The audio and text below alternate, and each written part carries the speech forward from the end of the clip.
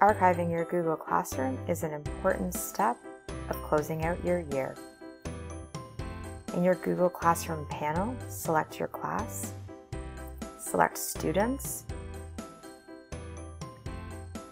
select All, under Actions, select Remove. Select your class panel, select the three dots, Archive. Archiving your class means that students no longer have access to it and removes your course from their view panel. You are able to reuse posts from an archived class.